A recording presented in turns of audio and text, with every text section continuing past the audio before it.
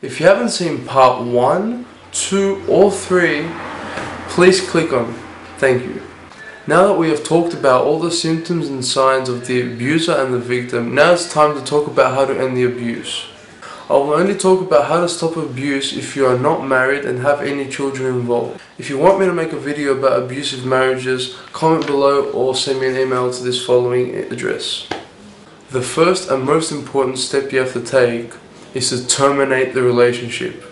You have literally reached the point of no return. Such problems just cannot be fixed.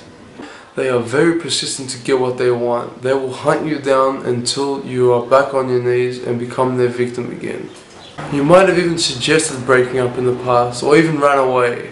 Eventually, when they find you and talk to you, they make you feel guilty, bad, and that you did wrong all along by leaving, resulting you to return.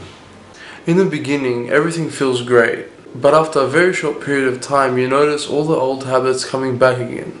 Then you feel like you are doomed and back to square one.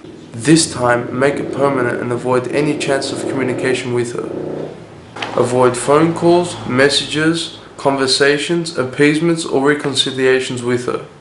This acceptance only bolsters the belief that they are still in control of their partner.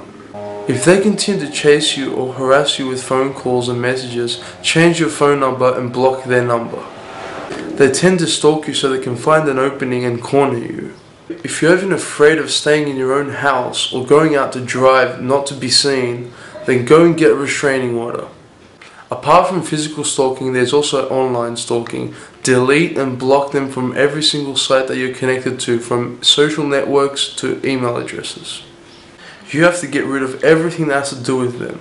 If you have any belongings of hers, collect them and give them to a mutual friend so they can give it to her. Also, any gifts, photos, or anything that reminds you of her, get rid of it.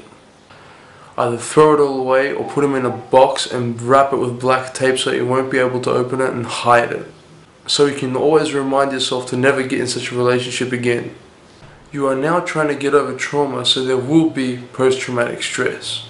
So try and keep her as much out of your life as possible. Most possibly there'll be a chance that you might lose some mutual friends. Either because they took the side of the abuser or because the abuser will be in their group constantly.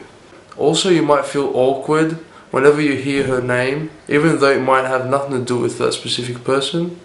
Other similar issues you will find with people who either resemble her, wear the same perfume, drive the same car, etc.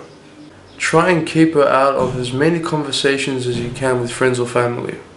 Even just a reference of her can just bring you down for a long time. A very important factor is to stay emotionally strong. As soon as you let guilt and emotional trauma take over, you will never get out. Go find your friends again. Start meeting new people. Do whatever makes you happy. Start your life the way you want it because it's in your hands now. Go do whatever you used to do that became taboo for no reason at all. Live. Also, a piece of advice to never forget. Love is not about pain. Thank you for watching my video about men under emotional abuse. Don't be shy and ask any question you like in the comment section below or to this or send me an email to this specific email address. Also check out the links that I provide in the underbar below and thank you so much and may you have an amazing day. Goodbye.